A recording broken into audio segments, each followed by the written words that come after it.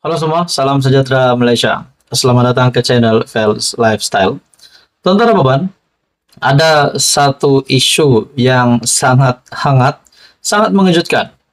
Ini mengaitkan nama Presiden PAS Tan Sri Abdul Hadi Awang dan juga kepimpinan PAS. Bagi saya ini satu isu yang mengejutkan, terutama kepada Presiden PAS sendiri, Tan Sri Abdul Hadi Awang. Seperti yang kita tahu, pilihan raya negeri bakal diadakan tidak lama lagi. Tetapi tiba-tiba pula ada berita buruk yang menimpa Hadi Awang. Dan ini disahkan sendiri oleh PAS melalui sebuah artikel. Ini berkaitan dengan status Presiden PAS Tan Sri Abdul Hadi Awang.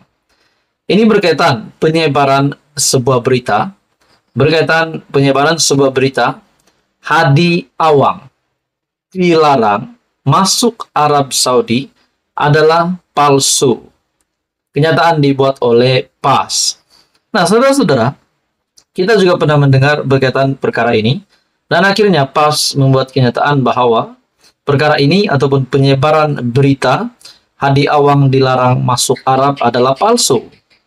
Dalam artikel ini daripada Astro Awani, kenyataan yang tular mendakwa Presiden PAS Tan Sri Abdul Hadi Awang dilarang memasuki Arab Arab Saudi karena ideologi pengganas adalah palsu.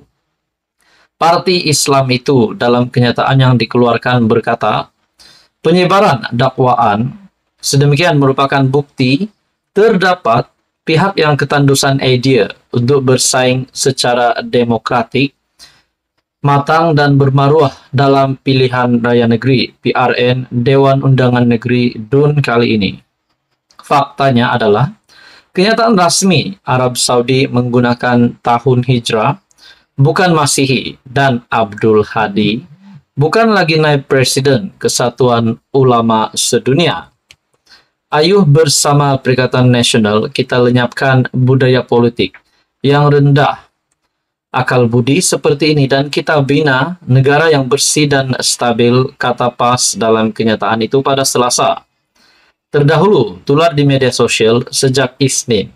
Satu kenyataan kononnya, Abdul Hadi dilarang memasuki Arab Saudi karena mempunyai ideologi pengganas. Nah, saudara-saudara, kita bersyukur sebab perkara ini sudah disahkan oleh PAS bahwa penyebaran berita Hadi Awang dilarang masuk PAS, uh, dilarang masuk Arab Saudi adalah palsu. Kita bersyukur sebab uh, disahkan oleh PAS bahwa berita ini tidak benar. Nah, kalau berita ini benar sudah pasti uh, menjadi satu um, menjadi satu impak yang buruk kepada penduduk ataupun netizen rakyat di seluruh rakyat Malaysia. Adakah rakyat Malaysia mahu salah satu pemimpin yang dihormati di Malaysia tiba-tibalah pula dikaitkan dengan ideologi sebagai pengganas. Nah, itu kita tidak suka. Tapi kita bersyukur hari ini pas mengesahkan penyebaran berita Hadi Awang dilarang masuk Arab Saudi adalah palsu. Saudara-saudara, bagi saya ini satu kejutan baru lagi untuk uh, Presiden PAS, Tan Sri Abdul Hadi Awang. Lebih-lebih lagi PRN um, di enam negeri yang bakal diadakan pada 12 Agustus tidak lama lagi.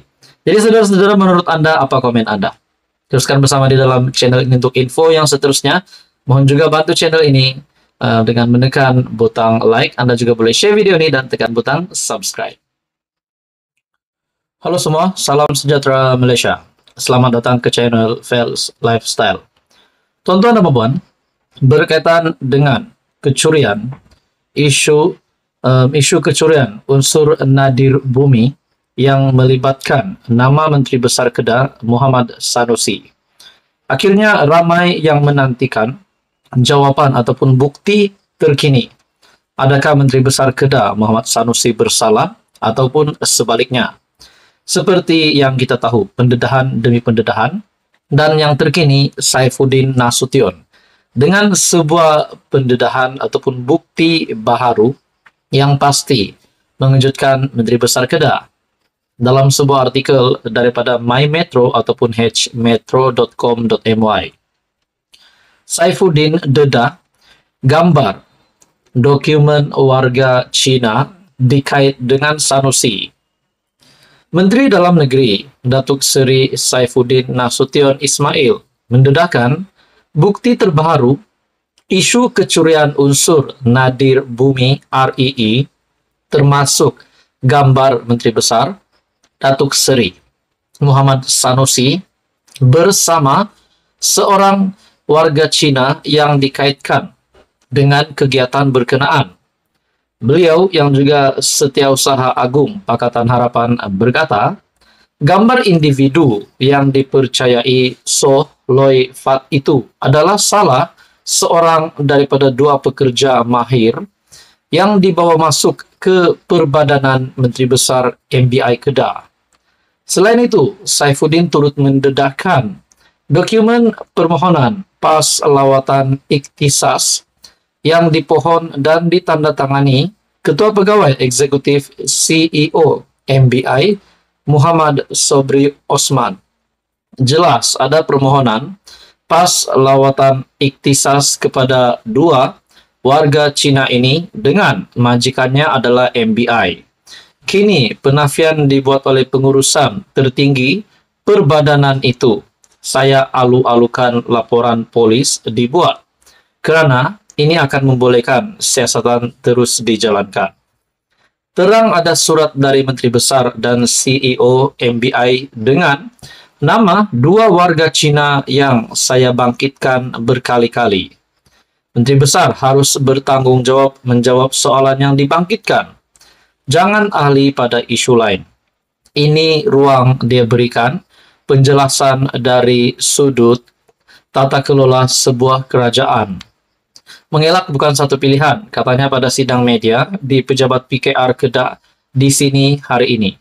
Nah, saudara-saudara, bagi saya, Menteri Besar Kedah Muhammad Sanusi perlu menjawab ataupun memberikan respon dengan pendedahan terkini dari Menteri Dalam Negeri merangkap pengurusi jawatan kuasa pembangunan negeri Kedah, Datuk Seri Saifuddin Nasution Ismail.